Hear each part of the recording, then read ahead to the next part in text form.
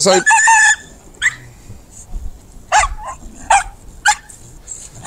You have a very nervy dog, Yeah. but you guys are terrified. Yeah. Yeah. Right. So your level of fear plus this dog's level of fear It's not good. is not good in the Yeah. slightest. The reality is she is very, very nervy. How much exercise outside the house does she get?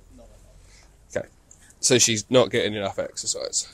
In the garden, it's an extension of your house, it doesn't count. No given that time.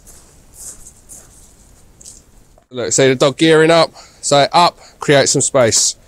Now, off you go, off you go, off you go. Relax your arm a bit.